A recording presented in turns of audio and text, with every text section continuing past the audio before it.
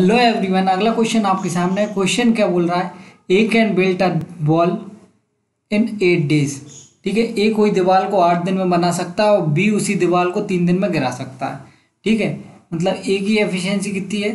ए किसी काम को आठ दिन में कर सकता है और बी उसी दीवार को गिरा सकता है तीन दिन में। तो टोटल वर्क यहाँ से निकालें अपन। एलसीएम तो एलसीएम आ जाएगा चौबीस।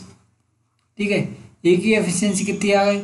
यहाँ से प्लस थ्री और बी की कितनी आ गई? माइनस एट ये माइनस एट क्यों लिखी? क्योंकि ए दीवार बनाने का काम कर रहा है। अगर मैं आपको इस क्वेश्चन को और डिटेल में समझाने की कोशिश करूँ तो ए क्या कर रहा है भैया? कि आठ दिन में चौबीस फीट की दीवार बना रहा है। मतलब एक दिन में तीन फीट दीवार खड़ी कर रहा है। और बी क्या कर रहा है? वो तीन दिन में चौबीस फीट की दीवार गिरा दे रहा है। मतलब एक दिन में आठ फीट दीवार गिरा देता है। ठीक है? ये बात यहाँ तक समझ में आई। अब हो क्या रहा है, अब देखिए सिचुएशन क्या है क्वेश्चन में, कि ए ने पहले तो क्या किया? चार दिन तक काम किया। चार दिन तक काम किया मतलब चार थी बारह फीट दीवार, उसने बना दी।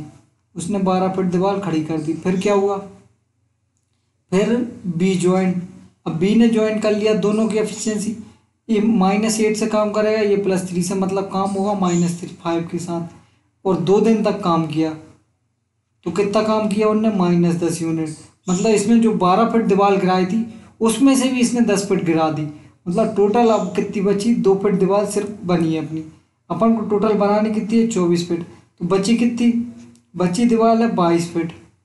बाईस फिट दीवार को अपन से पूछा कि how many days will alone remaining part of ball कि ए अकेले कितने दिन में करेगा? तो तीन की एफिशिएंसी से करेगा। ठीक है?